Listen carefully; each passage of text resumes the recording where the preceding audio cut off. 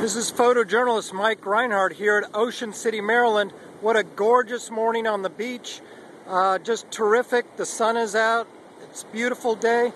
Here are the hundreds and hundreds of hotels along the beach that have been, for the most part, evacuated by county officials uh, with the impending storm Hurricane Irene several hundred miles out in the Atlantic Ocean right out there.